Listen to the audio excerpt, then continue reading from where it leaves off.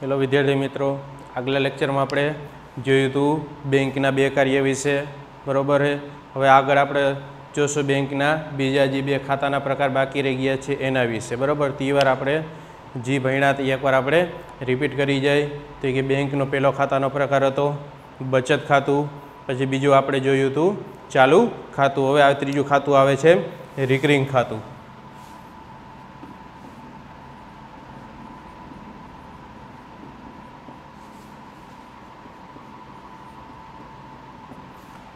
આ રિકરિંગ ખાતું. રિકરિંગ ખાતું પણ એક બચત ખાતા જેવું જ છે. પણ બચત ખાતામાં શું હતું? તો એ કે રૂપિયા જમા કરાવવાની અને ઉપાડવાની. બરાબર એ કોઈ સમય નક્કી એમાં હોતો નથી. ગમે એ સમયે. બરાબર બે અઠવાડિયા કે ત્રણ અઠવાડિયા કે મહિનામાં કોઈ એકાદ વાર તમે વ્યવહાર કરો તો પણ ચાલે. બે મહિને એકાદ વાર પણ તમે એમાં રૂપિયા ઉપાડો કે જમા કરો તો પણ ચાલે. એટલે કે આ રૂપિયા ઉપાડવા અને જમા કરવા માટેની કોઈ એમાં નક્કી હોતું નથી મુદત. બરાબર એ ક્યારે જમા કરાવવા, ક્યારે એવું ફરજિયાત કોઈ સમય એમાં હોતો નથી. જ્યારે રિકરિંગ ખાતામાં બરાબર જે બેંકે નક્કી કરેલો સમય, નક્કી કરેલા દિવસોમાં ફરજિયાત તમારે એ રૂપિયા જમા કરાવવા પડે એટલે એ ખાતું થયું રિકરિંગ ખાતું.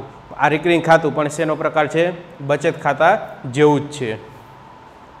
બચતના હેતુથી ખોલવામાં આવતું ખાતું કે જેમાં દર મહિને નિશ્ચિત સમય અને નિશ્ચિત રકમ ફરજિયાત જમા કરાવવી પડે છે. બરોબર આ રિકરિંગ ખાતું એટલે એવું ખાતું, આ રિકરિંગ ખાતું પણ શેના માટે ખોલવામાં આવે બચતમાં બરોબર રિકરિંગ ખાતું પણ શેના માટે તમે ખોલો છો? બચત માટે. એટલે કે તમારી પાસે જે રૂપિયા હોય, બરોબર, એ રૂપિયાની બચત થાય. એ હેતુથી રિકરિંગ ખાતું તમે ખોલો છો. અને રિકરિંગ ખાતામાં શું છે? તો કે દર મહિને નક્કી કરેલા સમય અને નક્કી કરેલી રકમ તમારે ફરજિયાત એમાં જમા કરાવવી પડે છે. દાખલા તરીકે તમે એસબીઆઈમાં બરાબર આ રેકરિંગ ખાતું ખોલાવ્યું અને એસબીઆઈમાં નક્કી થયું હોય કે દર મહિનાની ત્રીજી તારીખે બરાબર એ ત્રણ હજાર રૂપિયા ફરજિયાત જમા કરાવવાના તો દર મહિનાની ત્રીજી તારીખે ફરજિયાત તમારે ત્રણ હજાર રૂપિયા જમા કરાવવા પડે. તો ત્રીજી તારીખ એટલે નક્કી કરેલો સમય અને ત્રણ હજાર રૂપિયા એટલે શું થયું? નક્કી કરેલી રકમ ફરજિયાત તમારે જમા કરાવવી પડે. જો તમે આમ ન કરો તો બેંક તમારી પાસેથી બેંક ચાર્જ વસૂલ કરે છે. બરોબર છે? એટલે કે દર મહિને નક્કી કરેલી રકમ નક્કી કરેલા સમયમાં તમારે ફરજિયાત જમા કરાવવી પડે છે. આ ખાતામાં વ્યાજનો દર બચત ખાતા કરતાં વધુ હોય છે. બરાબર આ રિકરિંગ ખાતામાં વ્યાજનો દર, આપણે જે બચત ખાતું હતું, એનાથી એમાં વધારે હોય છે, પણ બાંધી મુદતથી ઓછો હોય છે. પણ જે બાંધી મુદત, એટલે કે ફિક્સ ડિપોઝિટમાં તમે જે રૂપિયા મેલો છો, બરાબર એનાથી વ્યાજનો દર ઓછો હોય છે. નિશ્ચિત સમયગાળો પૂરો થાય, બેંક વ્યાજ સહિતની રકમ તમને પરત કરે છે. બરાબર કે વર્ષ માટે તમે આ રીતે ખાતું ખોલાવ્યું હોય, અથવા તો કોઈ પાંચ વર્ષ માટે હોય કે છ વર્ષ માટે હોય. બરાબર? તમે જે આ રિકરિંગ ખાતું ખોલાવ્યું હોય તો જ્યારે સમય પૂરો થાય છે, એ સમય પૂરો થતાં જેટલા તમે રૂપિયા જમા કરાવ્યા છે એવડા રૂપિયા પ્લસ વ્યાજ સહિતની રકમ તમને પરત બેંક આપે છે. એટલે તમારા જે રૂપિયા છે, એ રૂપિયામાં શું થાય? એ વધારો થાય છે. જે રૂપિયા તમે જમા કરાવો છો, એટલી રકમ તો તમને મળે જ છે, પ્લસ તમને શું મળે છે? વ્યાજ મળે છે, એટલે કે તમને રૂપિયા વધારે થઈ અને બેંક ચૂકવે છે. તો આ તો રિકરિંગ ખાતું. શું છે આમાં તો કે દર મહિને નક્કી કરેલા સમય અને નક્કી કરેલી રકમ ફરજિયાત જમા કરાવવી પડે છે. બરાબર, રિકરિંગ ખાતામાં, તો કે બચત ખાતાથી વ્યાજનો દર વધારે અને બાંધી મુદતથી વ્યાજનો દર ઓછો હોય છે. અને જ્યારે સમયગાળો પૂરો થાય, ત્યારે વ્યાજ સહિતની રકમ પરત આપવામાં આવે છે. હવે ચોથા ખાતાનો પ્રકાર છે, બાંધી મુદતનું ખાતું.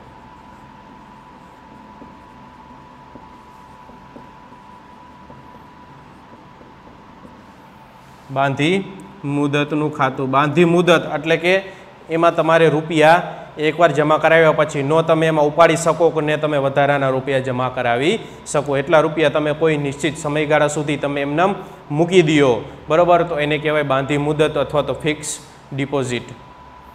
બેંકો માટે ચોક્કસ મુદત સુધી થાપણની રકમ વાપરી શકાય તેવો સ્ત્રોત એટલે બાંધી મુદતની થાપણ. બરાબર?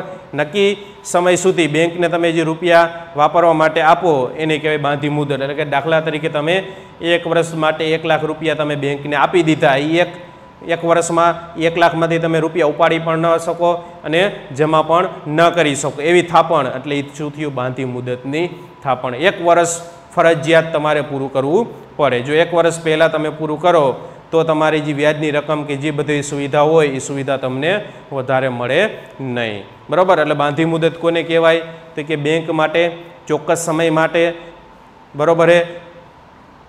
જી થાપણ, એને રકમ આપવામાં આવતી હોય, એને કહેવાય બાંધી મુદત. ચોક્કસ સમય માટે એક વર્ષ એટલે એક વર્ષ, બરોબર? એક વર્ષ પહેલાં તમે કોઈપણ જાતનું તમે એમાં ફેરફાર કરી શકો નહીં, તો એને કહેવાય બાંધી મુદત. બેંક અને થાપણદાર વચ્ચે પૂર્વ નિર્ધારિત કરેલ મુદત સુધીમાં થાપણદાર નાણાં ઉપાડી શકતો નથી. બરાબર? બેંક અને થાપણદાર. થાપણદાર એટલે કે તમે જે નાણાં મૂક્યા હોય એને કહેવાય થાપણદાર. એટલે કે બેંક અને બેંકના ગ્રાહક વચ્ચે. પહેલેથી જ નક્કી થયેલું હોય છે કે તમે જે સમય નક્કી થયો હોય સમય પહેલાં તમે રૂપિયા ઉપાડી શકતા નથી. એક વર્ષ માટે રૂપિયા મેળા તો એક વર્ષ પૂરું થાય. તે પહેલાં તમે રૂપિયા ઉપાડી શકો નહીં. આવું કરાર બેંક અને ગ્રાહક વચ્ચે થાય છે. જો પાકતી મુદત પહેલાં રકમ ઉપાડવામાં આવે તો વ્યાજનો દર ઘટી જાય. પાકતી એટલે કે એક વર્ષ માટે તમે રૂપિયા મૂક્યા એક વર્ષ પૂરું થાય. તે પહેલાં તમે છ મહિને કે પાંચ મહિને કે સાત મહિને રૂપિયા ઉપાડી લ્યો તો વ્યાજનો દર શું થઈ જાય છે, ઘટી જાય છે. જો તમે પૂરેપૂરા સમય સુધી રૂપિયા રાખો તો વ્યાજનો દર વધારે મળે છે. મુદત પૂરી થતાં વ્યાજ સહિતની રકમ બેંક પરત કરે છે તેવો લેખિત બાંયધરી આપે છે. એટલે એક પ્રકારનો તમને એવો ચેક લખીને આપી દે કે આટલા સમયથી આટલા સમય સુધી તમે રૂપિયા મેળ્યા તો સમય પૂરો થશે એટલે વ્યાજ સહિતની રકમ તમને પરત આપવામાં આવે છે એવો લેખિત કરાર કરવામાં આવે છે. નિશ્ચિત સમય સુધી રકમ ઉપાડી ન શકાતી હોવાથી બચત ખાતા અને રિકરિંગ ખાતાના પ્રમાણ કરતાં વ્યાજનો દર વધુ હોય છે. બરાબર? નક્કી કરેલા સમય પહેલાં તમે એમાં રૂપિયા ઉપાડી શકો નહીં એક વર્ષ માટે મૂક્યા એટલે ફરજિયાત એક વર્ષ તમારે પૂરું કરવું પડે. તે પહેલાં તમે રૂપિયા ઉપાડી શકતા નથી. એટલે માટે બચત ખાતા અને રિકરિંગ ખાતા કરતાં હંતાઈથી ઊંચામાં ઊંચો વ્યાજનો દર કયો હોય છે બાંધી મુદતનું ખાતું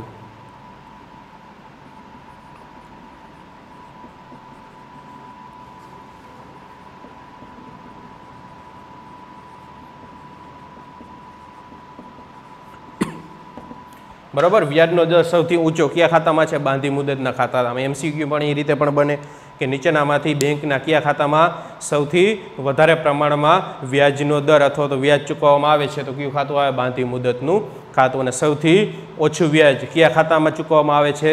તો કે બચત ખાતામાં. અને કયા ખાતામાં હવે વ્યાજ જ નથી ચૂકવવામાં આવતું? તો કયું આવશે? ચાલુ ખાતું. તો આ રીતે આ ચાર ખાતાના બરાબર એમસીક્યુ પ્રશ્ન આ રીતે બનતા હોય છે. તો બેંકના આ આપણે ચાર ખાતા જોયા. પહેલું ખાતું હતું કે બચત ખાતું, બીજું હતું ચાલુ ખાતું, ત્રીજો પ્રકાર હતો રિકરિંગ ખાતું અને ચોથો પ્રકાર હતો બાંધી મુદતનું ખાતું. બરાબર? આ છા, બેંકના ચાર ખાતા જોઈએ. આ ચાર ખાતા દ્વારા બેંક શું કરે છે? થાપણો સ્વીકારે છે. બરાબર? આના દ્વારા બેંકને શું મળે છે? થાપણ મળે છે. બરાબર? પછી આગળ આપણે જોઈએ હવે બેંકની સેવાઓ કે બેંક કયા કયા પ્રકારની સેવા અથવા તો સુવિધા પૂરી પાડે છે.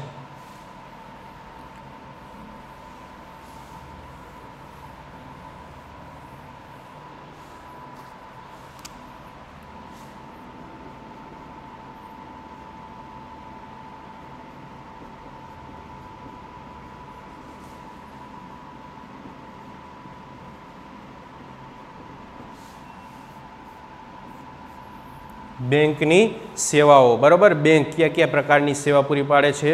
બરાબર? આપણે જે જોઈ ગયા, એ સિવાયની વધારાની અત્યારના હાલના સમયમાં, આધુનિક સમયમાં બેંકે પોતાની સેવામાં શું કર્યો છે વધારો કર્યો છે જેમ લોકોની જરૂરિયાત વધતી ગઈ, એમ બેંકે પણ પોતાની સેવામાં શું કર્યો છે વધારો કર્યો. આપણે આટલી જોઈ ગયા, એ તો સામાન્યની સેવા હતી, પણ આ સિવાય અત્યારના આધુનિક સમય સંજોગો પ્રમાણે, બરાબર? આ એની સેવામાં વધારો કર્યો, એના વિશે આપણે હવે જોવાનું છે. બેંકના મુખ્ય કાર્ય રોકાણ અથવા તો ધિરાણ કરવું અને થાપણ સ્વીકારવી. બેંકના મુખ્ય કાર્ય બરાબર શું હતું તો કે થાપણ સ્વીકારવી, રોકાણ અથવા તો ધિરાણ કરવું. આ ઉપરાંત બેંક અનેક કાર્ય કરે છે કે જેવા ગ્રાહકના નાણાકીય વ્યવહારો સાંભળવા, શાકપત્ર આપવા, ટ્રાવેલ્સ ચેક, ડ્રાફ્ટ ઇસ્યુ કરવા, RTGS, NEFT, bank overdraft, loan credit debit card બરાબર? કોર બેન્કિંગ સાથે સંબંધિત જેવી સુવિધા પણ બેંક પૂરી પાડે છે. બરાબર? આ બધી બાબત આપણે શાકપત્રની તો આપણે જોઈ ગયા હતા બરાબર પછી ગ્રાહકોના નાણાકીય વ્યવહારો સંભાળવી આપણે બેંકના ગુણ કાર્યમાં આપણે જોઈ ગયા હતા બરાબર આ સુવિધામાં આપણે જોવાનું છે ડ્રાફ્ટ ઇસ્યુ કરવા. બરાબર શાકપત્ર એના વિશે પણ આપણે માહિતી મેળવી દીધી કે અન્ય બેંકે બીજી બેંકને સંબંધિત પત્ર લખે અને પત્રમાં જેટલી રકમ અને જે વ્યક્તિના નામનો ઉલ્લેખ હોય, બરાબર અન્ય બેંક છે, એ વ્યક્તિને નાણાં ચૂકવે. તો એને કહેવાય શાખ પત્ર પછી ટ્રાવેલ્સ ચેક, એટલે કે પ્રવાસ દરમિયાન, બરાબર એ રૂપિયા ખોવાઈ જવાની કે ચોરાઈ જવાની કે લૂંટાઈ જવા બીક ન રહી, એના માટે જી ચેક કઢાવવામાં આવે, એને કહેવાય ટ્રાવેલ્સ ચેક. બરાબર, એ આપણે જોઈ ગયા હતા બેંકના ગુણ કાર્યમાં. એ સિવાય અત્યારના સમય સંજોગો પ્રમાણે તો કે RTGS, NEFT, bank overdraft, loan credit, પછી ડેબિટ કાર્ડ, કોર બેન્કિંગ બરાબર એ સુવિધા આપણે જોવાની છે. તો એમાં પહેલો પોઈન્ટ છે, ડ્રાફ્ટ ઇસ્યુ કરવા.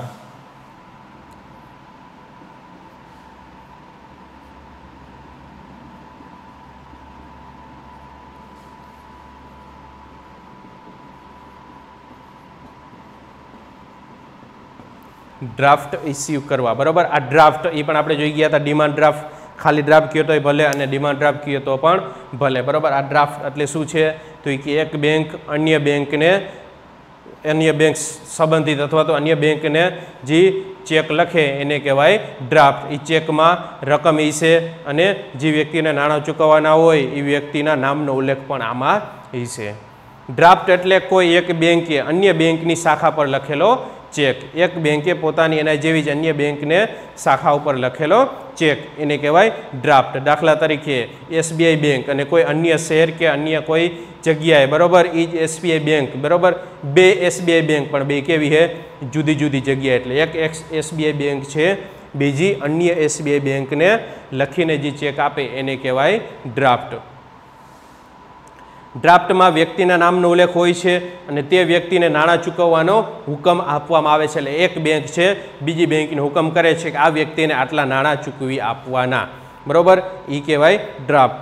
ગ્રાહક પાસેથી પૂરતું અવેજ મેળવ્યા બાદ બેંક ડ્રાફ્ટમાં નિર્દેશ કરેલ વ્યક્તિને નક્કી કરેલી રકમ ચૂકવવાની ખાતરી આપે છે. અવેજ એટલે કે એટલા રૂપિયા તમારે અહીંયા જમા કરાવવા પડે, અથવા તો તમારે કોઈ રૂપિયા ન હોય તો એટલી તમારે કોઈ પણ મિલકત કે સંપત્તિ તમારે અહીંયા જમા કરાવવી પડે છે. દાખલા તરીકે તમારા કોઈ મિત્રને કે તમારા કોઈ સગા સંબંધીને કોઈ અન્ય શહેરમાં રહેતા હોય એની રૂપિયાની તમને જરૂર પડી, તો આ રીતે તમે બેંકમાં જઈ નક્કી કરેલું ફોર્મ ભરી અને એટલા રૂપિયા તમે જમા કરાવશો, તો સામેવાળા ઈવડાઈ વ્યક્તિને એટલા રૂપિયા એને મળી જાય છે. પણ અગાઉ તમારે અહીંયા રૂપિયા જમા કરાવ્યા પછી ઈવડી બેંક છે, અન્ય બેંકને આ રીતે ચેક લખીને આપે. એટલે કે ડ્રાફ્ટમાં તમારે પહેલાં રૂપિયા જમા કરાવવા પડે છે અને પછી એ રૂપિયા, બરાબર એ?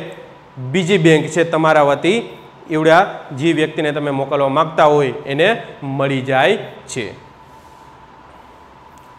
કોઈ વ્યક્તિ જ્યારે અન્ય વ્યક્તિને નાણાં મોકલવા માગતો હોય તો બેંકમાં જઈ નાણાં અને બેંકને ડ્રાફ્ટનું કમિશન ચૂકવવું પડે છે. તેટલા નાણાં આપીને ડ્રાફ્ટ કાઢી આપવા પોતે વિનંતી કરે કે દાખલા તરીકે તમારા મિત્રને તમે દસ હજાર રૂપિયા મોકલવા માગતા હોય તો દસ હજાર રૂપિયા પ્લસ જે કમિશન થતું હોય બેંકનું કમિશન પણ તમારે ચૂકવવું પડે છે અને જે નક્કી કરેલું ફોર્મ વિશે તમારે ફોર્મ ભરી અને બેંકમાં જઈ અને તમારે શું કહેવું પડશે કે મારે આટલા રૂપિયાનો ડ્રાફ્ટ કઢાવો છે, એટલે બેંક તમને એટલા રૂપિયાનો શું આપશે?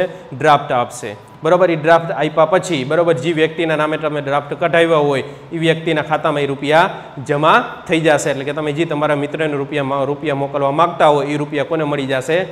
તમારા મિત્રને. એટલે એક બેંક છે, આ રીતે અન્ય બેંકને રૂપિયા મોકલે છે, પણ જેટલા રૂપિયા તમે મોકલવા માગતા હોય એટલા રૂપિયા તમારે પહેલાં અગાઉ જમા કરાવવા પડે છે. રૂપિયા નગર એટલા મિલકત કે સંપત્તિ તમારી એટલી ગીરવે રાખવી પડે છે. બરાબર? પછી એટલા રૂપિયા અન્ય બેંક છે, તમારા વતી જે વ્યક્તિને તમે મોકલવા માગતા હોય એને પોતે ચૂકવી આપે છે.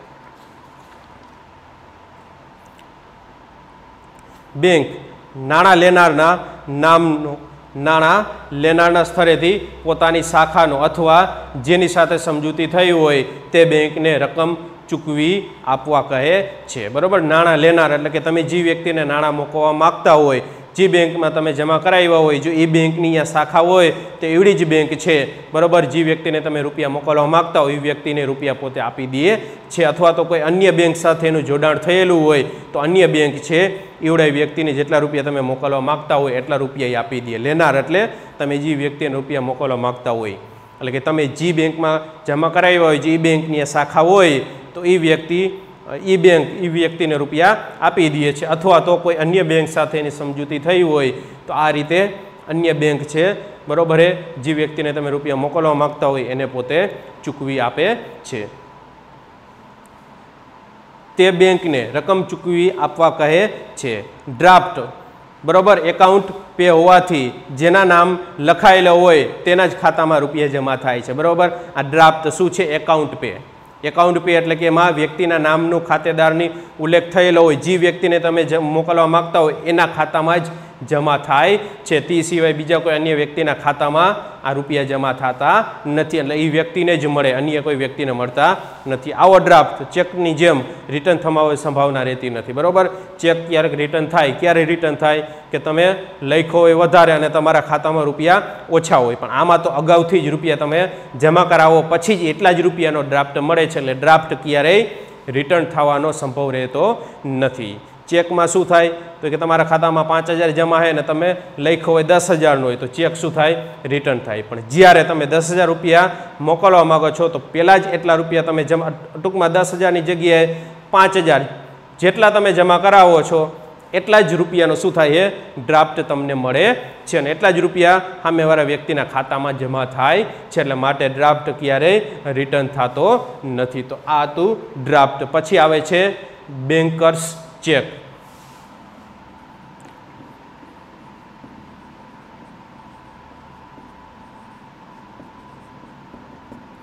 બેન્કર્સ ચેક એટલે કે તમે જે ઓલા સાદાજી ચેક જુઓ છો, આ ચેક વિશેની ચેક વિશેની સુવિધા ટ્રાવેલ્સ ચેક અને આ ચેક બરાબર? ઓમ સરખા પણ ટ્રાવેલ્સ ચેક છે, ફક્ત એક જ જગ્યાએ ઉપયોગ કરી શકો. ક્યાં? મુસાફરી અથવા તો કોઈ પ્રવાસ માટે તમે ગયા હોય ત્યાં જ. તે સિવાય કોઈ પણ અન્ય જગ્યાએ તમે એનો ઉપયોગ કરી શકતા નથી. બરાબર? આ બેન્કર્સ ચેક આ બેંકના ચેક તમે ઘણીવાર જોયા છે. બરાબર? જ આ ચેક એના વિશેની માહિતી આપણે જોવાની છે.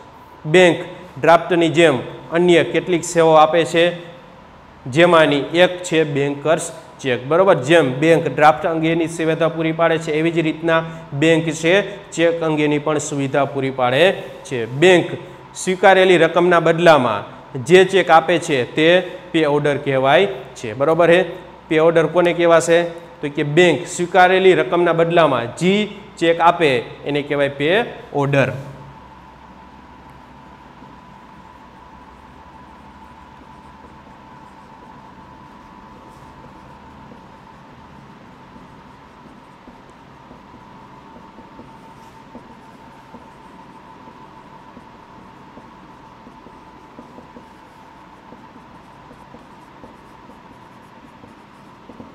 બરાબર? પે ઓર્ડર કોને કહેવાય?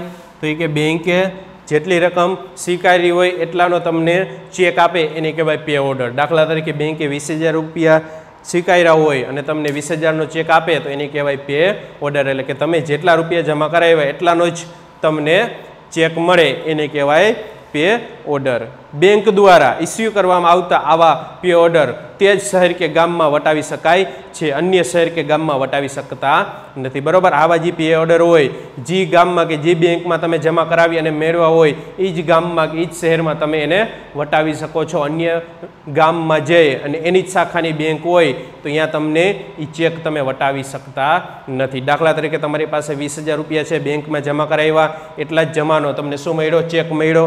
એને કહેવાય પે ઓર્ડર તો જે જગ્યાએ તમને જે આ પે ઓર્ડર મળ્યો હોય એ જ જગ્યાએ તમે પે ઓર્ડર વટાવી શકો છો. અન્ય શહેર કે ગામમાં જે એના પે ઓર્ડર તમે વટાવી શકતા નથી. આ તું બેન્કર્સ ચેક બરાબર? આમાં એક વ્યાખ્યા ખાલી ઇમ્પોર્ટેન્ટ છે કે પે ઓર્ડર કોને કહેવાય?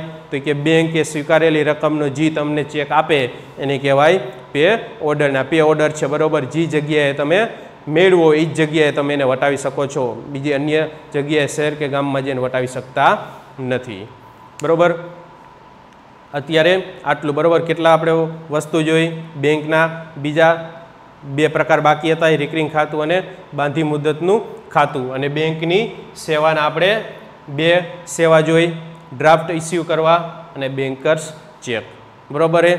આમાં કોઈ પણ ટોપિક, પ્રશ્ન કે કોઈ પણ બાબત ન સમજાણી હોય, પ્રશ્ન હોય, તો કમેન્ટ બોક્સમાં જણાવજો. જેથી કરીને એનું ફટાફટ સોલ્યુશન આવી શકે. થેન્ક યુ ધન્યવાદ.